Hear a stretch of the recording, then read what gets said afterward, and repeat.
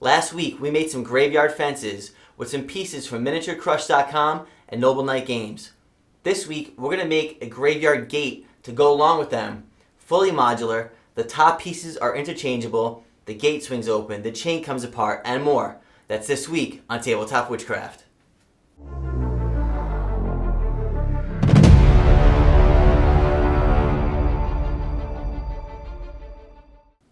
Hey there, and welcome back to Tabletop Witchcraft.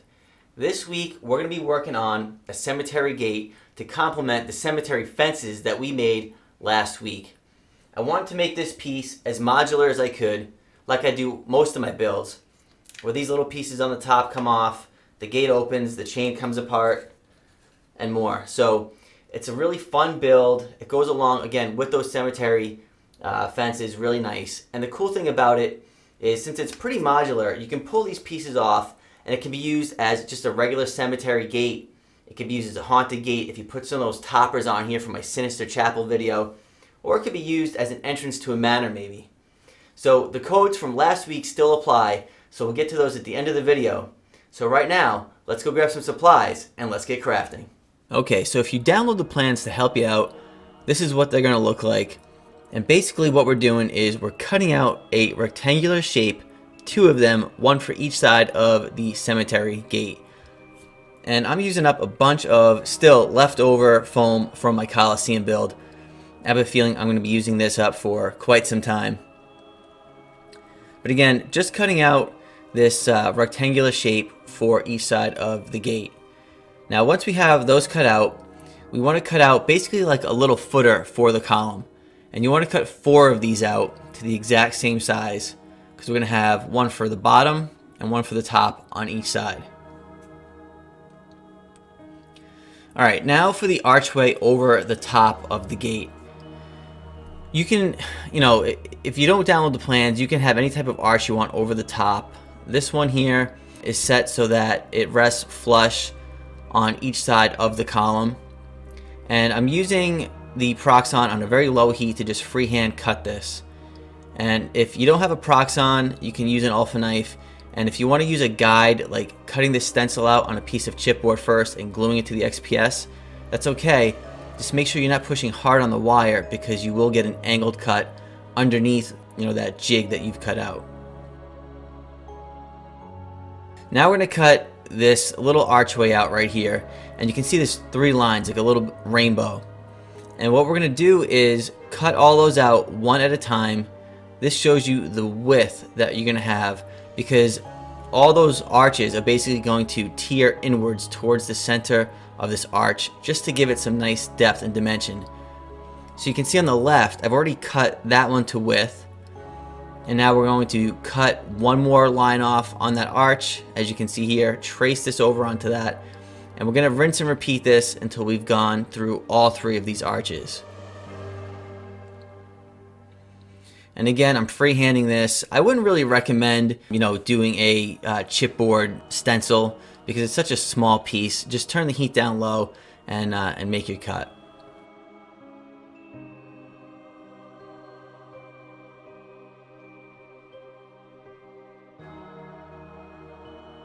Alright, now this is a piece of balsa wood I'll have a link to all the items I've used in the description below if you want to pick these up. And basically, we're going to be cutting this and gluing our fence into this piece right here so that it will rotate and actually work and move on us.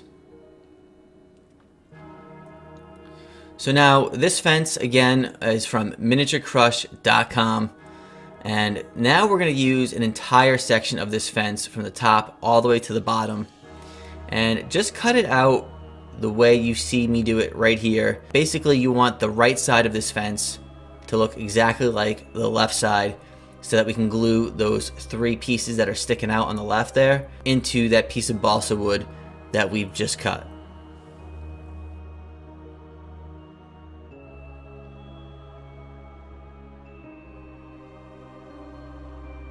Now an easy way to mark where we need to drill our holes in the balsa wood because it's very soft is just roll it like I am right now and pressing it into the fence. That will leave three marks that you'll be able to see in the wood. Then just grab a little pin vise like this and you can drill into that balsa wood. Just take your time. If you do it too hard or too fast, you'll chip it. Again, the wood is very soft. Now once we have the location marked out on the balsa wood and those holes drilled, then we can cut the gate um, where we want to to make it actually uh, open up. Now I'm using Gorilla Super Glue here and the nice thing about the Gorilla Super Glue is that it works in both plastic and wood. So I applied a little bit to the balsa wood, a little bit to the plastic fence, and now we're just going to set it in place.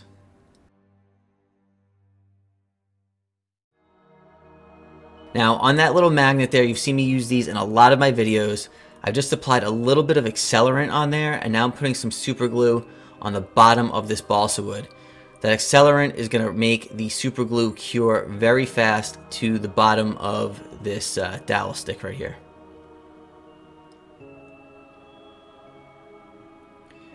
Now I'm just taking a little bit of super glue and I'm basically painting it over the wood and the magnet to really help lock and hold this in place. Now we can set that aside, let that finish curing, grab some uh, aluminum foil, add some texture to all our stonework, and then using the plans we can get the exact location of where we're going to put these magnets in the base. Now again, we're doing these to the bottom and to the top of the pillar. This gives you an idea how strong the magnets are. Um, don't do this uh, right next to the other magnet, but don't stress out. Use a scalpel if you have one or an X-Acto, and it slides right between the magnets. You can peel it right off. But I want to leave that in there to show you just how strong these magnets are.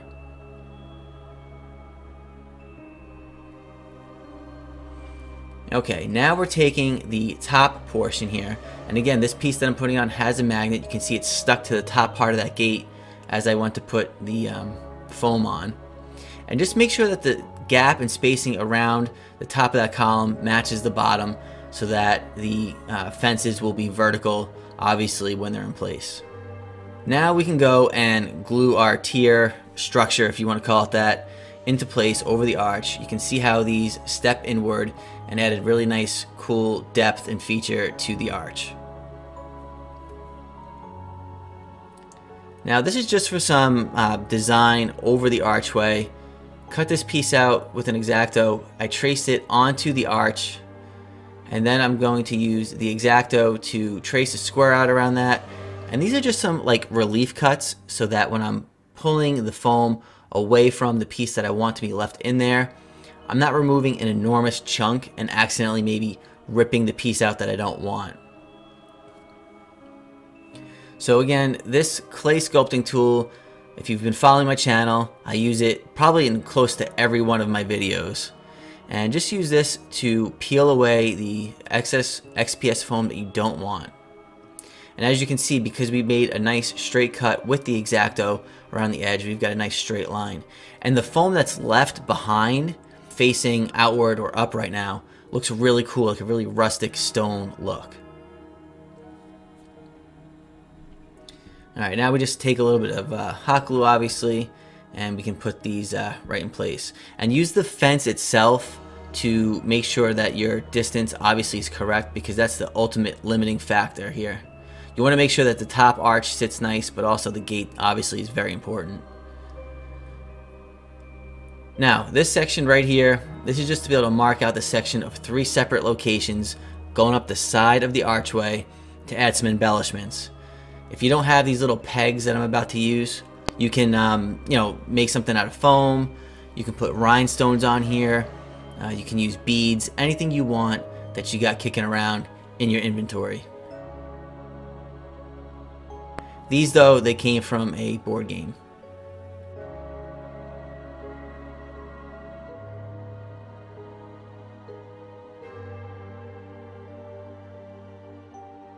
Alright, now we're measuring out um, a section here for the top three sections over the archway.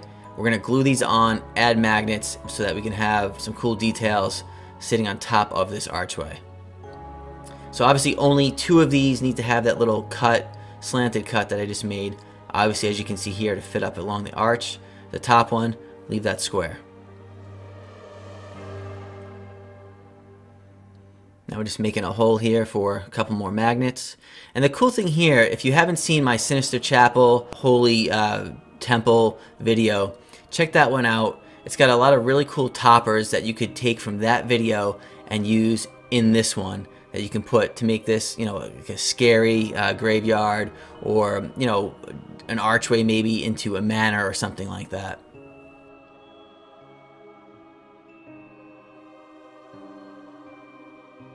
Now we want to basically age the stone.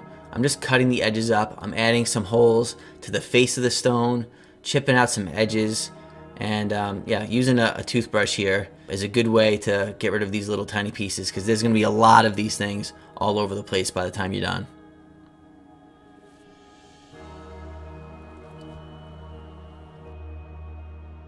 Okay, we are finally on to the Mod Podge section of the build. Slap some of this all over the whole thing. Mod Podge, black paint, and a thin coat, and you're good to go. These are some inch and a half, I believe, uh, washers. I used three per base, so you need six of them for the build. I cut those out with an X-Acto, placed them in there, glued them in, add a little bit of hot glue to the bottom, press them into some parchment paper. Now you get a nice sturdy base.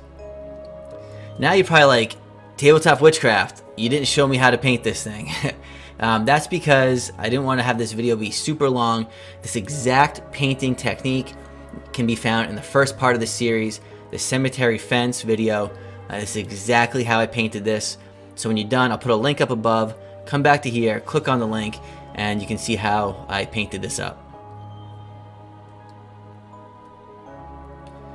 Now we're going to take some Vallejo primer and we're to prime the balsa wood. And if this gets onto the plastic for obviously the fence there's nothing wrong with that. That's okay. And we're going to paint this fence up exactly the same way we painted the fence up in the video that I had just mentioned. Now I'm taking a mixture of a couple of Vallejo pigments some burnt umber and some black pigment and I just mixed those together to make it a little bit darker because the burnt umber is a, was a little too bright for me.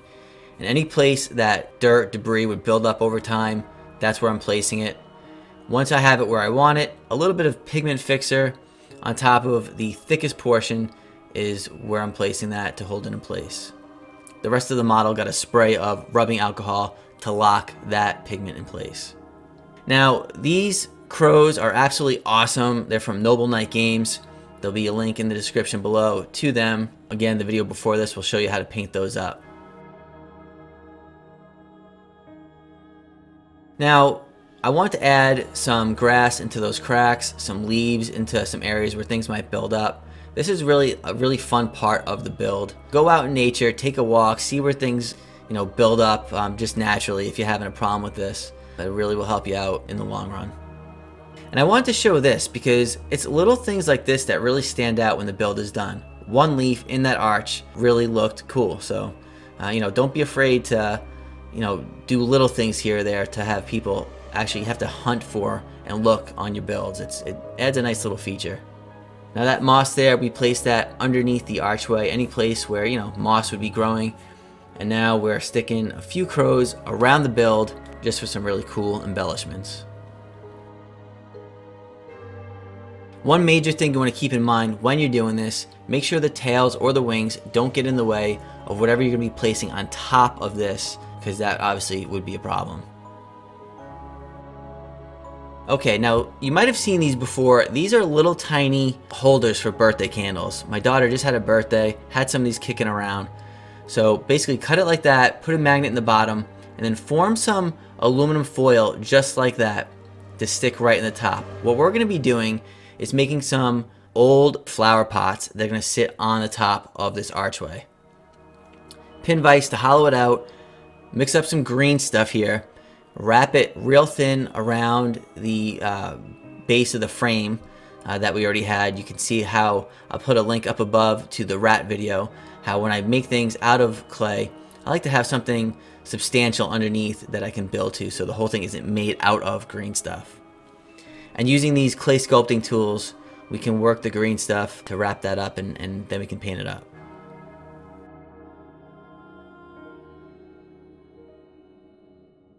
Now also, when working on this, you see how I got this nice and solid on the glass. That's exactly how we want it because in 24 hours we can use uh, an X-Acto here or a straight edge razor to cut it out. Alright, now we're to make some um, plates here that some chain is to hang to. So put some putty or some green stuff on the glass and make a square out of it. And I left it bunched up a little bit along the sides because I thought that actually looked really cool. And I'm just put a little split ring right in the center and a little green stuff right over that to make it look like something, you know, that was holding this, uh, this ring in place. And I put a few uh, little holes around it to look like rivet holes. Now I'm making a topper for the gate. I'm using these plastic arrow picks and basically just making a cross out of it, using some super glue to hold it in place. Don't worry about that little mess. We're going to cover it up in green stuff. Now this base right here, I made it out of aluminum foil, covered it in green stuff. I don't recommend doing that. This piece was actually big enough that you could have made this out of XPS foam and then glued the cross into that. So if you're going to build this, I highly recommend just making this piece out of foam. And then in the very bottom of it, uh, hot glue a magnet into it. But this is the basic shape that you're looking for. And you can see I just used a little bit of green stuff to cover up the glue. Okay, now we're going to measure out a little bit of chain. Uh, we're getting towards the end of the project here, and I thought it would be cool to have a chain going across the front of this gate. So measure that to length, um, add a little bit of uh, super glue to it, a little tiny magnet, and let that cure. I sprayed it with a little bit of accelerant, that way I can keep moving. This chain, you're to paint it up exactly the same way as you painted the wrought iron fence and the gate.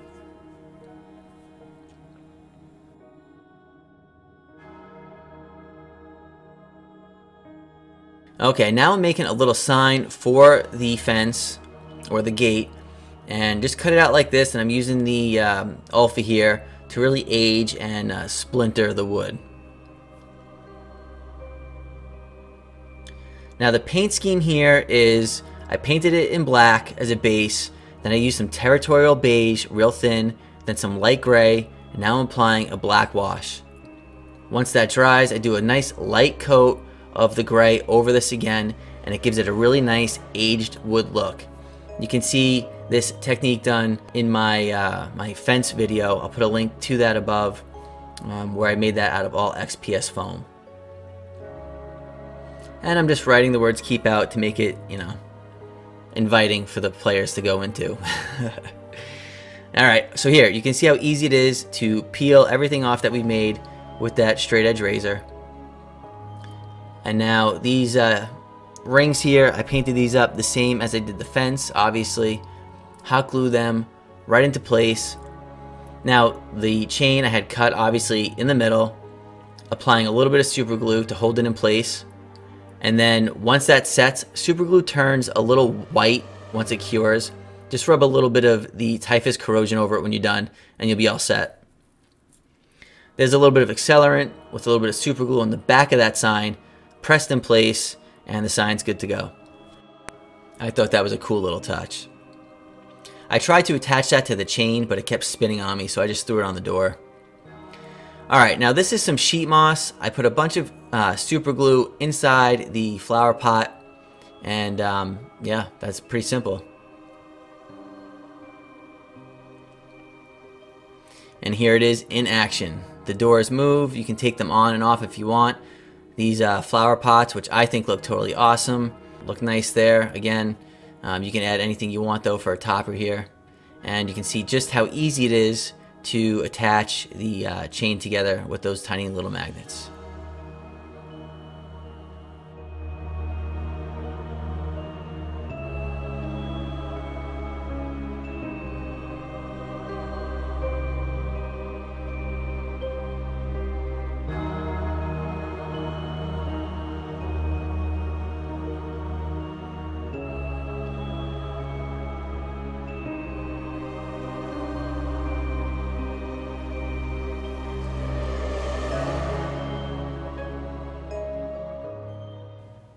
So, this brings to a close my short little two part series on graveyard fences and gates. I'm going to add these to my graveyard playlist down below. So, if you want to check out all that content to make the ultimate graveyard for your tabletop games, you'll know just where to find it. If you want to show some support for the channel, consider picking up these plans, grabbing some merchandise, or heading on over to Patreon and checking out one of the tiers that I got over there. Also, if you want to grab some of the parts or pieces needed to complete these builds, the wrought iron fence portion of this can be found at miniaturecrush.com. The discount code over there is tabletopwc, and that's good for 20% off your first order, and that expires October 15th of this year. If you want to grab the crows, those can be found over at Noble Knight Games. The discount code there is NKGRAVEN, all caps, and that'll get you five bucks off your first order of $25 or more, and that's good until September 14th. All right, until next time, I'll see you around.